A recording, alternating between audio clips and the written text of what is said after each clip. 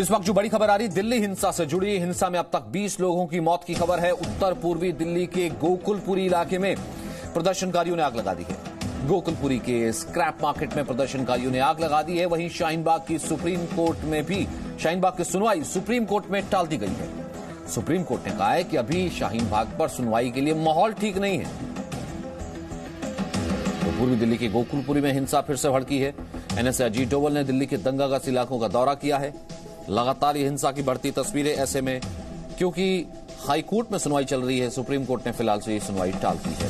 ये छह तस्वीरें हैं, हिंसा की छह तस्वीरें इस वक्त है। देश में रहकर देश को बदनाम करने वाले हैं कौन? कौन ये उपद्रवी जो कि लगातार देश को बदनाम करने के लिए सरेआम सरेराह इस तरीके से आग लगा रहे हैं, लोगों को भड़का रहे हैं।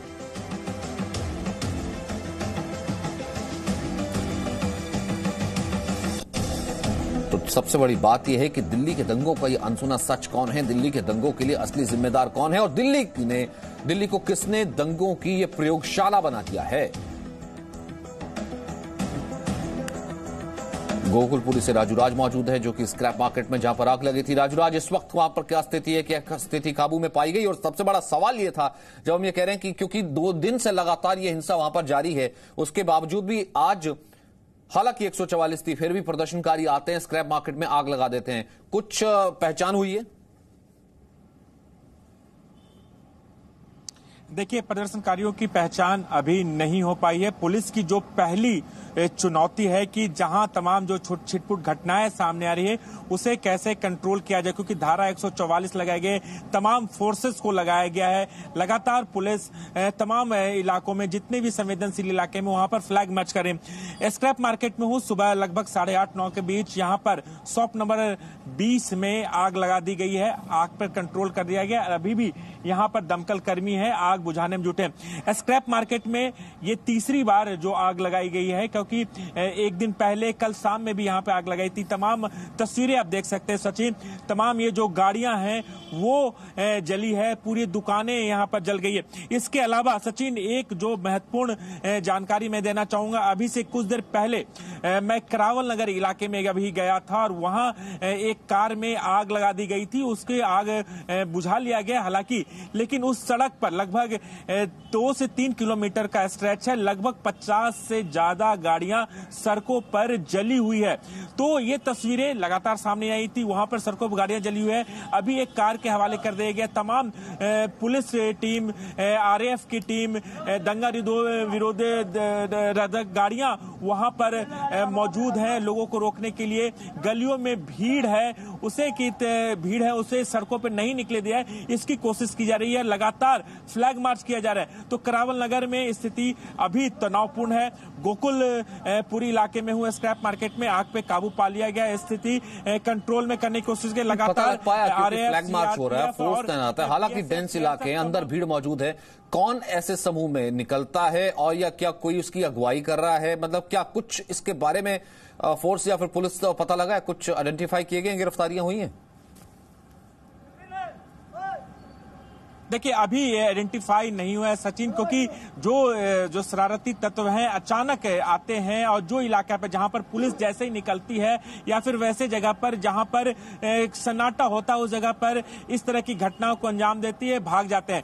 पुलिस की कोशिश है इन तमाम जो छोटी छिटपुट घटनाएँ सामने आ रही है, उसे कैसे कंट्रोल किया जाए? अभी तक पहचान नहीं हो पाई है। हालाँकि ऐसे मामले में पुलिस तमाम इलाके में जो सीसीटीवी कैमरे हैं, उसे निकालेगी, उसे खंगाल कर उनकी पहचान जाएगी। लेकिन ऐसे तत्वों से निपटने के लिए पूरी तरह से पुलिस जो लोकल इंटेलिजेंस है, उसकी भी मदद ले रही है ताकि ऐसे लोगों की पहचान की जाए कि कौन ऐसे लोग हैं जो पुलिस के जाते फोर्सेस के जाते, इस तरह की घटनाओं को अंजाम दे रहे हैं। ठीक है, मनीष शुक्ला का हम रुक कर लेते हैं, इस वक्त हजूरी से नज़र आ रहे हैं। मनीष जहाँ पर आप खड़े हैं, इस वक्त अपडेट वहाँ पर तस्वीर क्या कहती है? क्योंकि मुख्यमंत्री ये कह रहे हैं कि कर्फ्यू लगा दिया जाए ये जो इलाके जहाँ पर हिंसा हुई थी। गृह मंत्रालय अजीत डोवल जो है, वो खुद इस पर पूरी नज़र रख रहे हैं। अब आखिरकार अब यहाँ से आगे स्थिति क्या होने वाली, क्या है? देखिए सचिन, हमारे पीछे अगर हम आपको दिखाएँ तो ये जो तस्वीरें खुद ही बोल रही हैं। यहाँ हमारे सामने अगर देखें तो गाड़ियाँ जो है यहाँ जली पड़ी पड़ी हुई हैं। जिस तरीके से सोमवार के दिन यहाँ हिंसा हुई थी, अगर इस पूरे अगर आप आगे रास्ते पर देखें सीधे तो आप ये कह सकते हैं कि 40 से 50 गाड़ियाँ एक साथ आग के हवाले की गई थी और इन गाड़ियों को अब धीरे धीरे यहाँ पर जो ट्रैफ़िक पुलिस है, दिल्ली पुलिस है, वो यहाँ से हटा रही है। जो ये मलबा है, इसको साफ़ किया जा रहा है। और यहाँ इसके साथ ही साथ लगातार जो पैरामिलिट्री फोर्स है वो यहाँ काफ़ी ज़्यादा डिप्लॉय हो गई है। दूसरे हिस्से पे अगर हम आपको दिखाएँ तो यहाँ अगर आप देखें, जिस जगह पर ये जो पेट्रोल पंप है, यहाँ पर भी काफ़ी ज़्यादा आगजनी हुई थी। यहाँ पर गाड़ियाँ जला दी गई थी।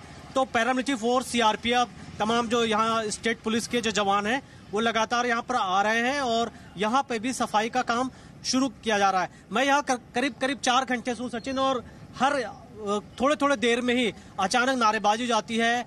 लोगों के अंदर काफ़ी ज़्यादा गुस्सा है। दोनों पक्ष यहाँ पर एक एक करके आते हैं और अचानक ऐसा लगता है कि फिर से सिचुएशन खराब होने वाला है। तो बहुत ज़्यादा तनाव है। हम जिस तनाव की बार बार बात कर रहे थे और हमने सुबह भी दिखाया था कि अगर आप सिर्फ़ देखें इस एरिया को तो सिर्फ़ गाड़ियाँ नहीं जलाई गई है। यहाँ पर आसपास घरों को किस तरीके से टारगेट किया गया है? आप देखिए तो ये प्रॉपर्टी है, किसी का घर है, उसको आग के हवाले किया गया। उसके बगल में जो घर है, शीशे उसको कैसे तोड़े गए, पत्थरबाजी की गई इन पूरे इलाकों में? और बहुत ही भयावह स्थिति है। यहाँ तीसरा दिन है, लेकिन आने के बाद अजीब सा एक डर लगता है कि किस तरीके से यहाँ हिंसा हुई होगी। कैसे लोगों ने, जिनको मतलब ही नहीं है इस तरीके से, हिंसा में जो शामिल नहीं थे, जो सीधे साधे लोग हैं, जो तमाम फैमिलीज़ हैं, उनके ऊपर क्या गुजरी होगी? सिर्फ़ ये घर नहीं, अगर आप चारों तरफ़ देखें तो किस तरीके से मॉब ने यहाँ पर अटैक किया हुआ था। तो यहाँ इस वक्त आ, हम ये कह सकते हैं कि लगातार जहाँ राष्ट्रीय सुरक्षा सलाहकार अजीत डोवल बात कर रहे हैं तमाम रिलीजियस लीडर से पीस शांति बनाए बनाने की कोशिश की जा रही है। फ्लैग मार्च चल रहा है ताकि लोगों के अंदर एक कॉन्फिडेंस आए। वहीं पर यह देख के लगता है कि क्या दिल्ली को क्या हो गया है? क्या दिल्ली में लोगों ने ऐसा कल्पना किया होगा कि इस तरीके से होगा जब देश की राजधानी है यहाँ पर दो समुदाय इस तरीके से लड़ेंगे। तमाम अमेरिकन राष्ट्रपति आए हुए थे। तभी तो मैंने कहा ना कि एक तरीके से सुनियोजित भीड़ निकलती है। आम लोगों का अगर इस पर कोई लेना देना नहीं है तो आखिरकार यही है या भले इंटेलिजेंस एजेंसीज की क्या ये नाकामी है कि नहीं पता लग पाया इस तरीके की साजिश बन गई या फिर अब जो है अब भी चिन्हित करना बहुत ज़रूरी है कि आखिरकार दिल्ली को जलाने के लिए वो चेहरे कौन है या फिर वो फोर्स कौन है जो कि लगातार ये कोशिश कर रही है कि दिल्ली का यही चेहरा दुनिया के सामने जाए। रूफी हमारे साथ हैं। रूफी आ, क्या मेडिकल से क्या रिपोर्ट्स है अस्पताल से क्या रिपोर्ट्स है?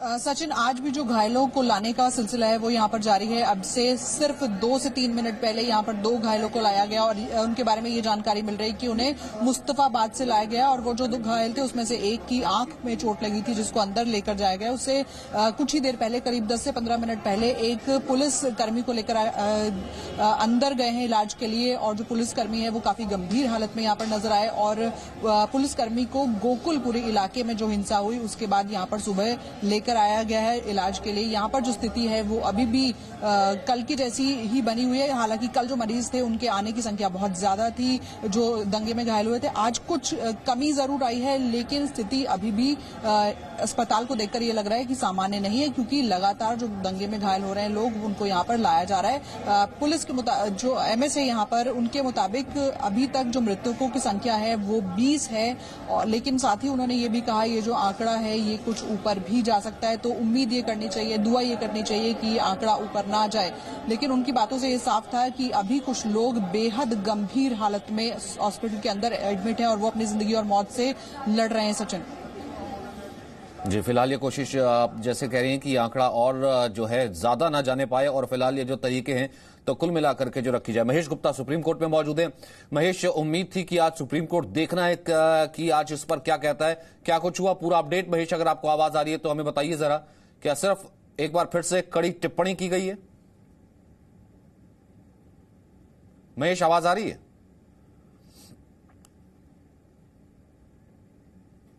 महेश, आवाज़ आ रही है आपको? आवाज़ महेश तक नहीं पहुँच पा रही है। हम ये बात करने की कोशिश करेंगे। मनीष, सवाल मेरा यही आ जाता है कि जब एनएसए नज़र रखे हुए हैं, अब मैं क्या मानूं कि हालाँकि 20 से ज़्यादा 20 लोगों के करीब की मौत की खबर है। एक तो क्या इंटेलिजेंस नहीं था कि इतनी बड़ी, हालाँकि इनपुट्स थी कि ऐसा हो सकता है, कुछ शरारती तत्व आ सकते हैं दिल्ली को बदनाम करने की कोशिश तो पहले ही देखिए, शाहीन बाग के तौर पर दो महीने से हो ही रही है लगातार। ऐसा ही दूसरा बनाने की कोशिश कर सकते हैं। नंबर एक, नंबर दो, अब इंटेलिजेंस एजेंसीज क्या कह रही हैं, किस इनपुट्स पे काम कर रही हैं? जी, देखिए, ये जो दंगे हुए हैं, सचिन, ये एक इंटरनेशनल कॉन्स्परेसी है, अंतर्राष्ट्रीय साजिश है, भारत की इमेज को खराब करने की।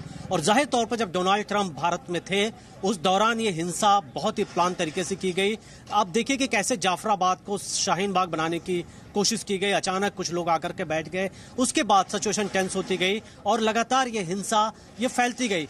सबसे बड़ा सवाल ये है कि अगर पहले ही दिन दिल्ली पुलिस ने स्थिति को नियंत्रित कर लिया होता बल प्रयोग किया होता, ज़्यादा संख्या में डिप्लॉय होते तो ये जो हम तस्वीरें लगातार आपको दिखा रहे हैं, ये शायद तस्वीरें देखने को नहीं मिलती। ये सवाल हमेशा पूछा जाएगा, और ये हमेशा यहाँ के लोग भी जानना चाहते हैं। जहाँ तक आप देखें तो लगातार ट्विटर से फेसबुक से, पाकिस्तान के हैंडल से फेक वीडियोस अपलोड किए जा रहे हैं। यानी पूरी कोशिश है पाकिस्तान की कि ये स्थितियाँ नियंत्रण में ना आए, बाकी जगह इस तरीके से रॉयट फैले। आपने महेश गुप्ता से बात की, देखिए सुप्रीम कोर्ट ज़रूर पहले भी अगर आप देखें हाईकोर्ट ने भी और सुप्रीम कोर्ट ने भी इस मामले में दिल्ली पुलिस से कहा था कि दोनों पक्षों से बात करें, समस्या जो भी है उसका निपटारा करें। लेकिन सबसे बड़ा सवाल है कि कब तक पुलिस, मूक दर्शक बनी रहेगी, कब तक कुछ लोग यहाँ पर जो चाहेंगे दिल्ली के अंदर, वो वो करेंगे। यहाँ पर हम तमाम उन लोगों से मिले, जिनसे हम बात करने की कोशिश की। कई लोग काफ़ी ज़्यादा गुस्से में हैं। कुछ ऐसी बातें कह जाते हैं कि जिसको हम नहीं चाहते कि कैमरे पर आए, इसीलिए हम उन सबसे बात नहीं बात नहीं करा पाते हैं। आप ये बताइए कि आ, ये जो हिंसा हुई है आ, किस तरीके से यहाँ पर लोगों ने हमला किया और उस दौरान यहाँ जो आसपास लोग थे कैसे उन्होंने अपनी जान बचाई?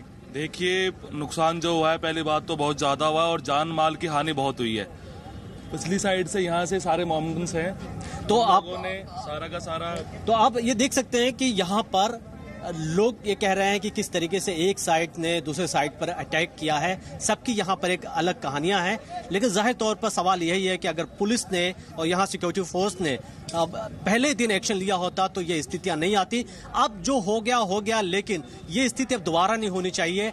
ये नहीं कहा जा सकता कि यहाँ गुस्सा कम हो गया है। यहाँ लोगों के अंदर अभी भी गुस्सा है। ज़ाहिर तौर पर ये आने वाले 24 घंटे 48 घंटे काफ़ी अहम होंगे। सभी पक्षों से समझाया जा रहा है और हम भी इन सब लोगों से यही कह रहे हैं कि दिल्ली को दिल्ली को संभलने की ज़रूरत है क्योंकि दिल्ली का ये चेहरा नहीं है जिस चेहरे को लोग जानते हैं दिल्ली का। दिल्ली एक प्रेम की जगह है जहाँ लोग मिलकर रहते हैं। और राजू राज मुख्यमंत्री कह रहे हैं, कर्फ्यू लगा दिया जाए और गृह मंत्री खुद नज़र रखे हुए हैं, एनएसए खुद इस चीज़ को देख रहे हैं। अब ऐसे में आपने कहा कि अंदर जो डेंस इलाके हैं, वहाँ पर अब भी भीड़ है। वहाँ तक अप्रोच किया जाए, बताया जाए लोगों को कि भैया कोई आपको भड़का रहा है कि, और एक दूसरे को मारने करने से कुछ नहीं होगा यह सिर्फ़ एक साजिश है। उन तक आउटरीच हो सके, इसके लिए कोई प्लान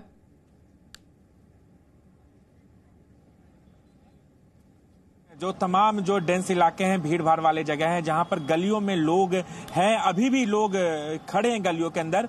पुलिस की कोशिश है कि तमाम इन लोगों के पास जा रही है। बकायदा अनाउंसमेंट किया जा रहा है कि आप कोई भी शख्स कानून को अपने हाथ में ना ले, अफवाहों में ना आए और लगातार सोशल मीडिया पे तमाम चीज़ों को जो फैलाया जा रहा है, सोशल मीडिया के ज़रिए मैसेज दोनों कम्युनिटी के बीच, चाहे वो हिंदू हो या मुस्लिम हो, तमाम कम्युनिटी के बीच ऐसे ऐसे मैसेज वायरल किए जा रहे हैं, जो शायद टेलीविज़न स्क्रीन पर नहीं दिखाया जा सकता है। एक पत्रकारिता के लिहाज से उसे आप नहीं दिखा सकते हैं। वैसे मैसेज उनके पास है।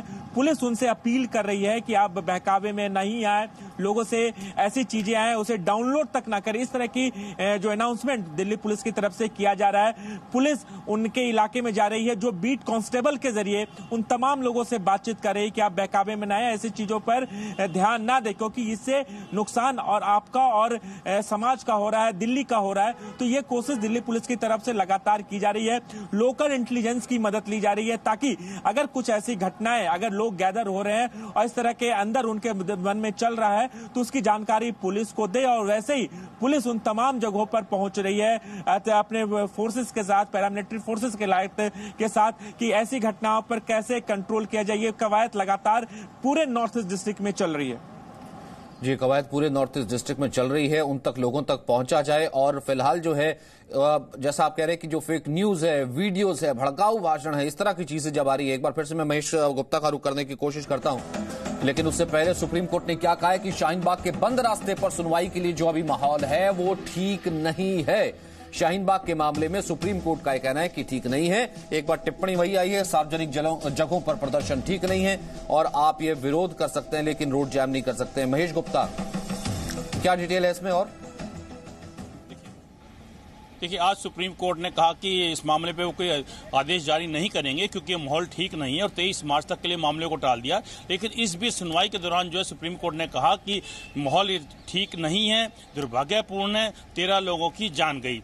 सुप्रीम कोर्ट ने दिल्ली पुलिस और केंद्र सरकार दोनों की खिंचाई की। दिल्ली पुलिस को कहा कि उन्होंने समय पर कार्रवाई नहीं की। जिन लोगों ने भड़काऊ बयान दिए, उनके खिलाफ कार्रवाई नहीं की। केंद्र सरकार को खिंचाई करते हुए कहा कि केंद्र सरकार ने पुलिस को ऐसा माहौल नहीं दिया कि वो खुद अपने स्तर पर कोई कार्रवाई कर सकते हैं कुछ को, कोई दिशा निर्देश नहीं दिया। और ऐसा माहौल बनाया कि पुलिस जो है अपने लेवल पे कोई डिसीज़न ले सके कोई कार्रवाई कर सके। उन्होंने ये भी कहा सुप्रीम कोर्ट ने कि जैसे यूके की पुलिस है वो खुद करती है सारी कार्रवाई। तो लेकिन उसके जवाब में जो सोलिसिटर जनरल थे केंद्र सरकार के वकील थे उन्होंने कहा कि एक कांस्टेबल की मौत हो गई है जो घायल डीसीपी वेंटिलेटर पे हैं और ऐसे माहौल के अंदर जो है काफ़ी संयम से काम करना पड़ता है कि जो फ़ील्ड का क्या माहौल है मौके पे क्या माहौल है उसको भी देखना ज़रूरी होता है। लेकिन जब ये बात उठी कि शाहीन बाग को लेकर कि भाई शाहीन बाग का इशू है तो कोर्ट ने कहा अभी माहौल ठीक नहीं है। और उसके ये कहते हुए सुप्रीम कोर्ट में हमारे हालाँकि चर्चा की गई, वकीलों ने इस बात को बार बार उठाया कि कम से कम कुछ इंट्रीम ऑर्डर दे दिया जाए शाहीन बाग को लेकर। उस पर सुप्रीम कोर्ट ने कोई इंट्रीम ऑर्डर नहीं दिया है और ये कहा कि अभी माहौल ठीक नहीं, कहने का मतलब ये है कि सुप्रीम कोर्ट ने एक तरह से इस मामले को तेईस मार्च तक ये कहकर टाल दिया कि अगर सुप्रीम कोर्ट इस पर कुछ भी टिप्पणी ठीक तो कुल मिलाकर ये कहते हैं कि अभी भी वो स्टेटस को जैसे कि पहले था, वही बना हुआ है। हालाँकि सुप्रीम कोर्ट ने कहा है कि ये सरकार की पुलिस की ज़िम्मेदारी होती है, लेकिन कहीं ना कहीं एक बार फिर से बात ये कही गई है कि इस तरीके का प्रोटेस्ट जो है वो कतई जायज़ नहीं है, जहाँ पर आप सड़क जाम कर दीजिए। आप सब हमारे साथ बने रहिए, छोटे सा ब्रेक वापस आ रहे हैं।